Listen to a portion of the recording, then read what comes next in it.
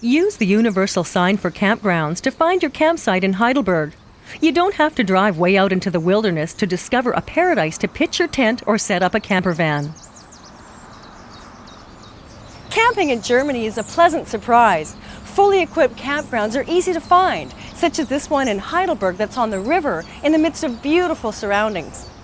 In addition to arrivals in camper vans, buses will bring youths on camping tours to the sites that often have a series of cabins for this purpose. Amenities are clean and adequate, and there's usually a little tuck shop on the premises with all the necessities of life. There are stamp machines and post boxes located by the main building, and bikes and scooters can be rented there for tours into the city. Hookups for power are well maintained and supply 220 volts. Facilities for washing up are never far away, and best of all, nature's bedroom can make for a very restful vacation.